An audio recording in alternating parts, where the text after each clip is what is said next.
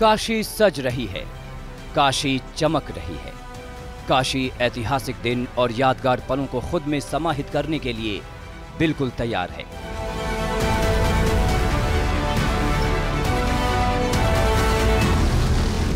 देवों के देव महादेव के शहर वाराणसी का नज़ारा चकाचौंध से भरा है। रास्ते प्रधानमंत्री नरेंद्र मोदी के कट आउट और पोस्टरों से पटे पड़े हैं। तमाम चौराहों पर बीजेपी का झंडा लहरा रहा है। बीएचयू के गेट पर पंडित मदन मोहन मालवीय की प्रतिमा को पानी से धोकर साफ़ किया गया। ग्रिलों पर पेंट की नई परत चढ़ गई। प्रधानमंत्री के रोड शो वाले रास्तों में पड़ने वाले पेड़ों की टहनियों को काट छांट कर दुरुस्त किया गया। वाराणसी के घाटों को धोया जा रहा है। रास्तों की सफ़ाई अलग से की गई है। वाराणसी में पीएम मोदी के वेलकम अगेन के लिए मंच भी तैयार हो चुका है। यहाँ मालवीय जी की मूर्ति पे माल्यार्पण करेंगे। यहाँ हम लोग उसी साज सज्जा व्यवस्था में लगे हुए हैं। मोदी जी यहाँ माल्यार्पण करने के बाद रोड शो प्रारंभ करेंगे।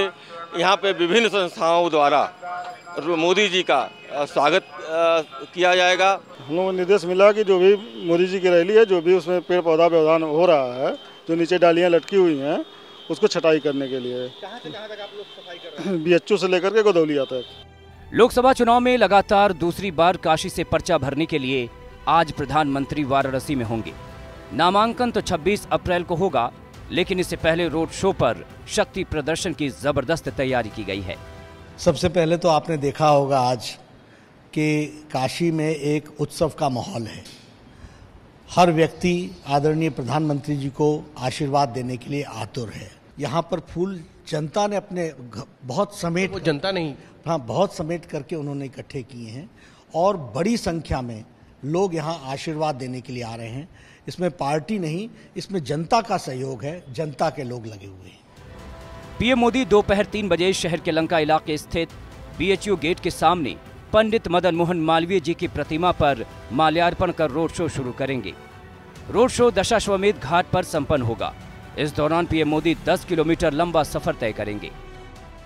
आज जब प्रधानमंत्री जी आएँगे तो सबसे पहले तो महामना मालवीय जी की मूर्ति पर माल्यार्पण करेंगे और उसके बाद वह अपने आरती के लिए, गंगा आरती के लिए निकलेंगे।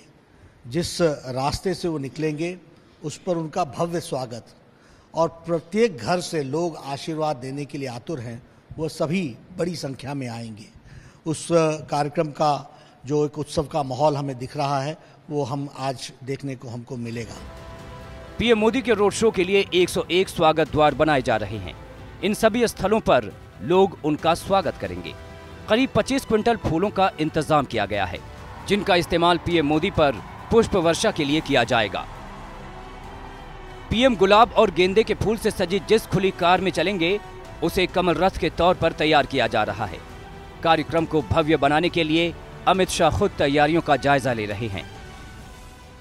इस बार भी एक प्रचंड लहर मोदी जी के नामांकन के पहले दिखाई पड़ती है और जिस दिन मोदी जी ने 2014 में नामांकन किया, ये लहर सुनामी में परिवर्तित हुई थी। इस बार भी नामांकन के भव्य रोड शो और मोदी जी के नामांकन के बाद मुझे लगता है निर्णायक लहर और सुनामी भारतीय जनता पार्टी और एनडीए के पक्ष में देखी जाने वाली रोड शो के बाद पीएम दशाश्वमेध घाट पर गंगा आरती में भी सम्मिलित होंगे। पाँच साल पहले भी पर्चा भरने से पहले मोदी गंगा आरती में शामिल हुए थे। गंगा घाट में तैयारियाँ जोरों पर हैं। शाम के वक्त जब मोदी घाट पर होंगे तो सामने गंगा में रोशनी की एक आभा उभर रही होगी।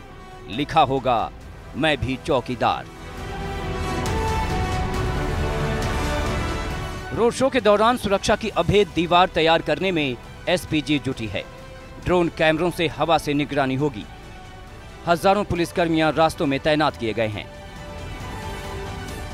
यही रोड शो की तैयारियाँ यही सब है। बोर्ड वोड लगा है व्यवस्था सही है बैरिकेड विकेटिंग लगा है।